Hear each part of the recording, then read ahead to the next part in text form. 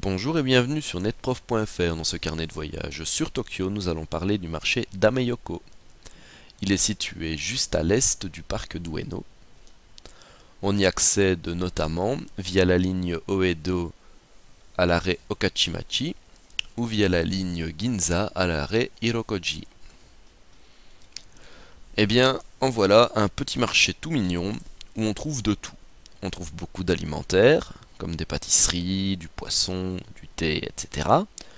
Il y a quelques vendeurs de superbes montres à milliennes, donc ça vaut 8 euros, et c'est pas du tout de la contrefaçon, ce sont juste des autres marques.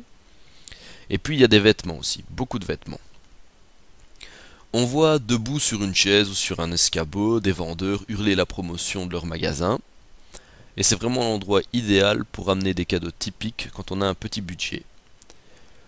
Alors dans des rues adjacentes, on voit euh, des euh, petits restos euh, familiaux qui sont vraiment très sympas, où on mange vraiment des plats typiques et délicieux. Alors il ne faut pas hésiter à y entrer, car même si la carte n'est pas forcément traduite en anglais, on arrive toujours à se comprendre, il y a souvent en vitrine des plats en résine, et surtout c'est pas cher du tout.